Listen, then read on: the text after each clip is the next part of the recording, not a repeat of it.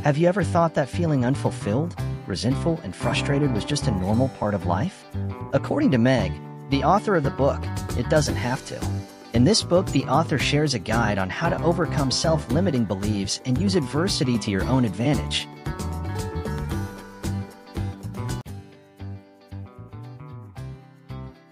Lesson 1. You are the one preventing yourself from living your dream. Escape the suffering by shifting your mindset. Suffering occurs when you make external factors responsible for your happiness. Shifting your negative thought patterns requires confronting your ego, the part of your personality that supports your unhealthy beliefs and reactions. Your ego is survival-based. It can protect you when your amygdala, the part of your brain triggered by fear and stress activates, but you shouldn't let it control you. Learn to decipher when your ego is in control and to tap into the inner states of your higher self, which focuses on learning and creating. These states include inspiration, exhilaration, presence, trust, wholeness, peace, love, joy, and gratitude. Have you ever experienced seeing someone going through the same experience another one has and having a totally different outcome? How can it be?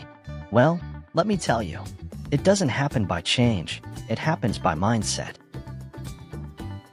Let me put this story as an example. After a painful breakup with her boyfriend, a well-known pop singer found herself drowning in sadness, stress, and resentment. Fueled by these negative emotions, her ego took control. She decided to shield herself from future heartbreak by vowing not to trust anyone again. This mindset led her to believe that every man was like her ex-boyfriend. As a result, she tolerated unhealthy situations, turned to alcohol as a coping mechanism, and spiraled into a self-destructive lifestyle. In the face of a heart-wrenching breakup, another pop singer with the same level of fame goes through the same experience with the same man. She chooses to experience the initial waves of sadness and stress. Instead of succumbing to these emotions, she allowed her higher self to guide her. She chose to acknowledge her feelings, shed a few tears, and then rose from the emotional wreckage. Determined to learn and grow, she shared her experience with the world inspiring others through vulnerability. Harnessing her creativity, she turned her pain into art, creating a powerful song that resonated with countless people. This transformative approach not only helped her achieve greater success, but also served as a source of strength for those facing similar struggles. Through this process, she identified the lessons from her failed relationship, setting boundaries for the future and vowing not to tolerate mistreatment. By letting her higher self take control, she emerged from the breakup not as a victim, but as a resilient and empowered individual, ready to navigate healthier relationships in the future. Both external situations were the same, both experienced a breakup event with the same man, but the outcomes are different because of what each of them chooses to take from that experience. When experiencing struggles and having thoughts that led to certain decisions, ask whether your ego or higher self is in control.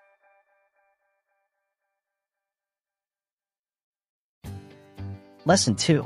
Overcome your self-limiting beliefs and choose to create and learn.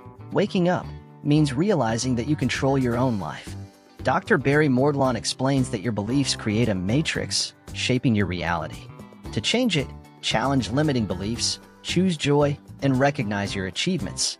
Embrace continuous learning, even from perceived failures, for better decision-making and a fulfilling future. When you shape your thoughts about your life, you shape your present and your future. Actively choose to view any adverse situations or key moments you face as neutral rather than negative, treating them as learning opportunities. With this mindset shift, things you used to view as challenges will become easier, which means you're leveling up or growing. Lesson 3. Your thoughts shape your reality, so question them rigorously. The author talks about different types of paradigms and the importance of be aware of them, since they dictate our feelings and actions. Fear-based paradigm. These are paradigms trigger feelings of powerlessness, a tendency to blame others, and a desire to engage in escapist behaviors. Sarah always feared failure. When she didn't get the lead role, she blamed everyone, feeling powerless. Instead of trying again, she escaped into her comfort zone, missing opportunities for growth. Duty-based paradigm. They prompt you to avoid conflict and prioritize security.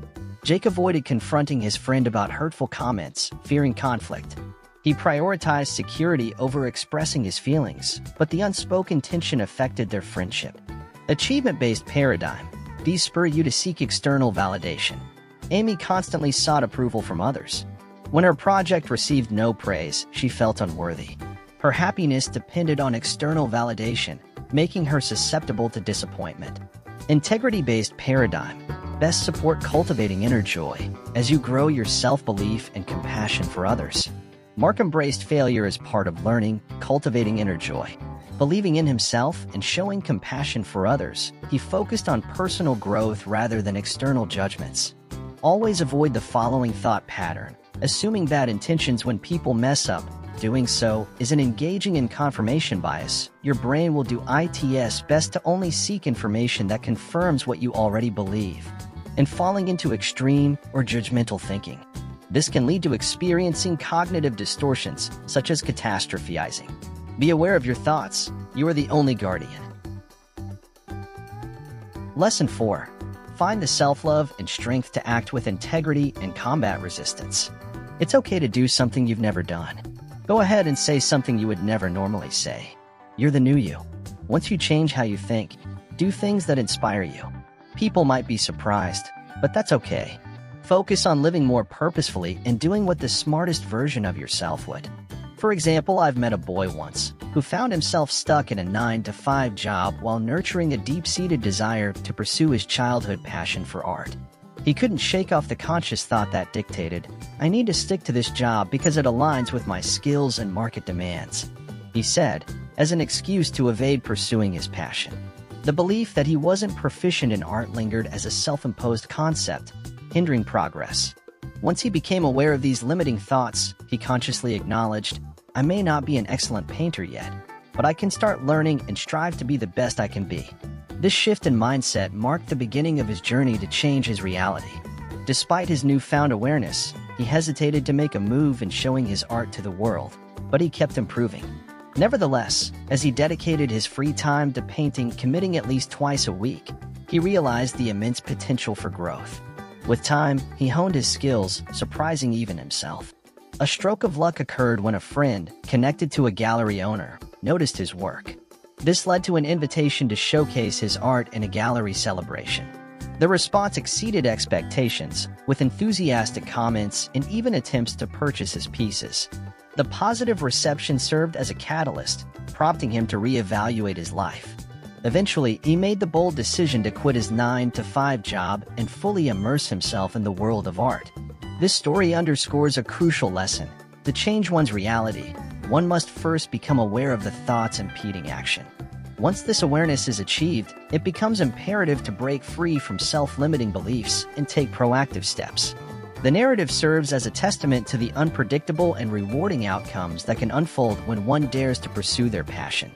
But remember, to change your reality, you must first be aware of the thoughts that are impeding you from taking those actions. Once you are aware, break the self-limiting beliefs and start taking action. You never know what might happen. Lesson 5. Embrace 10 strategies to keep momentum as you upgrade your life. There are some strategies the author consider you should embrace to keep momentum in your life. 1. Don't take yourself too seriously.